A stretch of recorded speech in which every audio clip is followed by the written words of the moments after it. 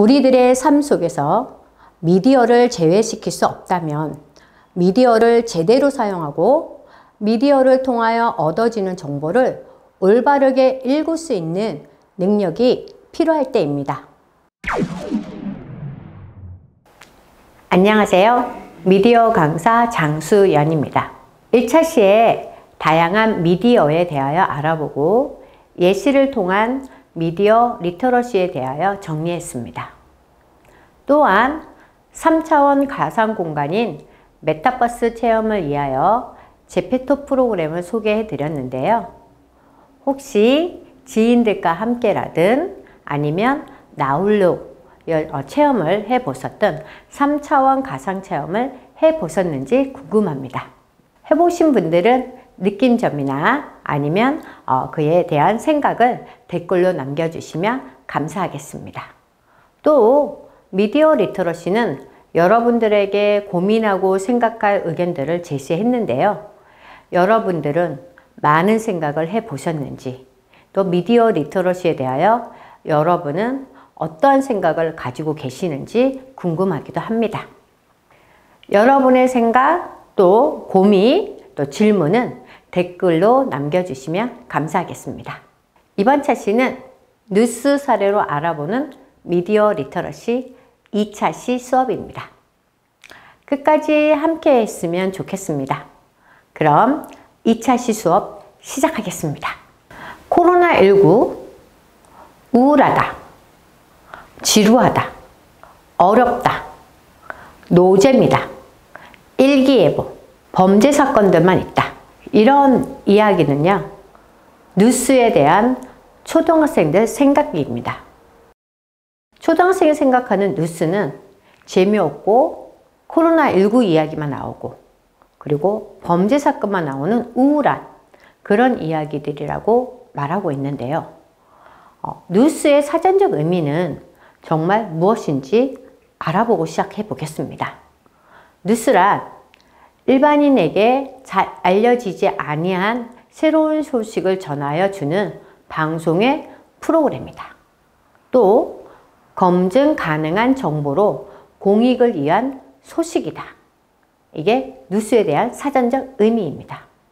그러니까 뉴스란 검증 가능한 새로운 사실을 정확하고 공정하게 전달하는 언론의 기능으로 다양한 뉴스 포맷과 제작 방식의 전략을 가지고 있는 것이기도 합니다. 공익성을 띠고 있는 사실을 보도하는 뉴스는 당연히 어린 초등학생들에게는 재미없고 지루할 수밖에 없다고 생각합니다.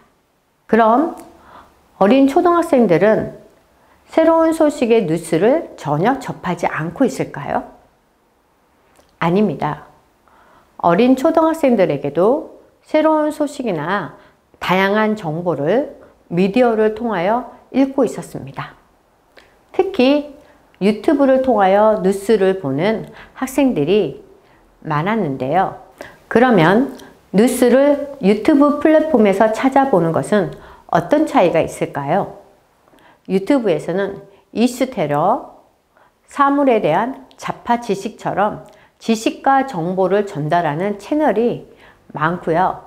이 채널들은 쉽고 재미있게 설명하고 있다는 점이 뉴스와 다르다는 것입니다.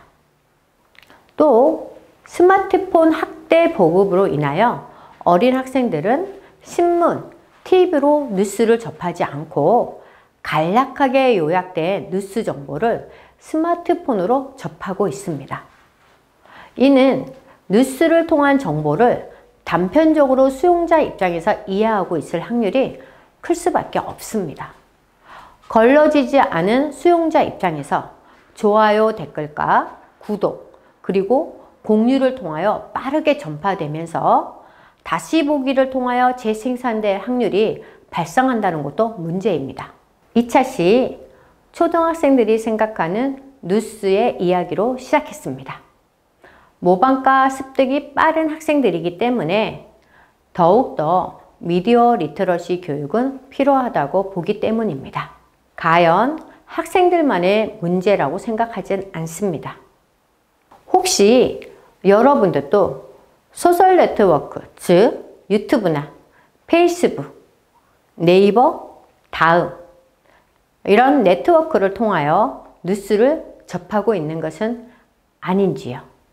페이스북에서 이슈 확산을 촉진하는 도구인 추천, 좋아요, 공유, 댓글들과 같은 행위는 engagement 수치로 요약됩니다. engagement는 자극적인 가짜 뉴스에 높게 나타나는데요. 몰입하는 현상을 말합니다. 즉, 자극적인 가짜 뉴스에 사람들이 더 몰입하는 현상을 말하는 것입니다. 뉴스 소비자의 입장에서는 뉴스를 읽을 때 해당 뉴스의 진위 여부에 먼저 관심을 가지지는 않고 1차적으로 눈길을 끌 만큼 흥미로운 것인지 관심사와 관련이 있는지 등에만 집중한다는 것입니다. 앞서 초등학생들이 뉴스는 노잼이에요. 재미가 없어요. 라는 말과 어쩌면 비슷할 수도 있겠습니다. 가볍고 소소한 일상들을 다루는 소셜미디어의 매체적 특성과 같이 결합됨으로써 여러분한테 더 쉽게 접근하고 있습니다. 쓰레기 만두, 최선당의 임산부 폭행 사건, 240번 버스 사건, 마카롱 10개 사건. 한 번쯤 들어보신 적 있으신가요? 우리나라에서 이슈가 되었던 사건들이었습니다. 이 중에서는 아직도 소송 중인 사건들도 있습니다. 미디어 매개체로서의 사람들이 많아지고 있는 상황에서는 가짜뉴스를 맞는다거나 가짜뉴스를 제한을 한다는 것은 힘들어지고 있는 것이 사실입니다. 그러므로 뉴스 수용자가 뉴스의 진위 여부를 파악할 수 있는 뉴스 literacy, 미디어 literacy 교육이 필요할 수밖에 없는 상황이고요. 여러분도 literacy의 능력을 키울 수밖에 없는 상황이라는 것입니다. 가짜뉴스를 확인하는 가이드라인을 안내해 드리겠습니다. 첫 번째, 소스 확인하기. 기사를 클릭해서 기사가 나온 사이트라든가 기관에 대한 정보를 조사를 해보시고요. 두 번째, 뉴스가 생산된 날짜를 확인해 주시길 바랍니다. 재생산되거나 재편집된 것은 아닌지 확인하라는 것이고요. 세 번째, 당신의 평양성에 따라 읽고 싶은 뉴스만 읽고 있는 것은 아닌지를 고려해 보시라는 겁니다. 네 번째, 기사를 뒷받침하는 소스는 무엇인지 알아보세요. 다섯 번째, 뉴스를 작성한 기자를 확인해 주시기 바랍니다. 여섯 번째, 기사의 내용으로 이득을 얻는 곳이 있는지, 피해를 볼 수 있는 곳이 있는지를 확인해 보시기 바랍니다. 일곱 번째는 전문가를 통한 팩트체크를 해보시길 바랍니다.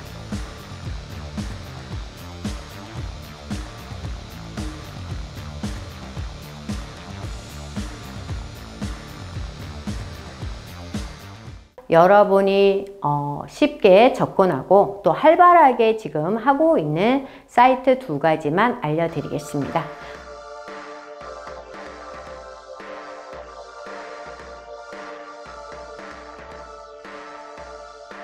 가짜 뉴스의 대처 능력으로 좋았던 스웨덴 시민들의 대응을 예시로 들겠습니다.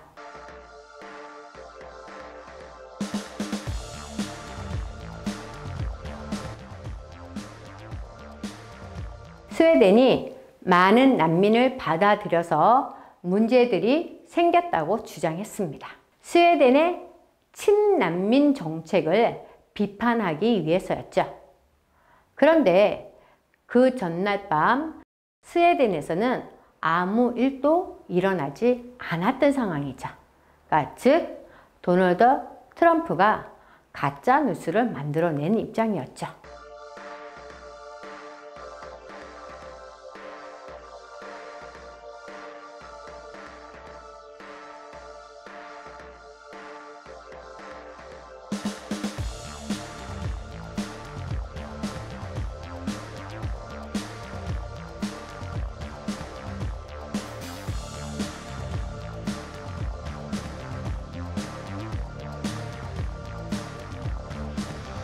실제로 그날 밤 일어났던 사건들 이야기로 인터넷을 모두 도배해버렸습니다. 그러니까 도널드 트럼프가 얘기한 이야기를 모두 없어지게 한 거죠. 여러분은 이 이야기를 어떻게 생각하십니까? 뉴스를 만들어내고 뉴스를 접하는 곳에 개개인 능력으로 차단하고 평가하고 분석할 수 있는 능력도 필요하지만 정부에서 함께 뒷받침해 줘야 되는 부분도 필요하다고 봅니다. 또한 언론사에 속해져 있는 언론사 관계자분들의 정직한 그리고 공정한 부분도 필요하다고 봅니다.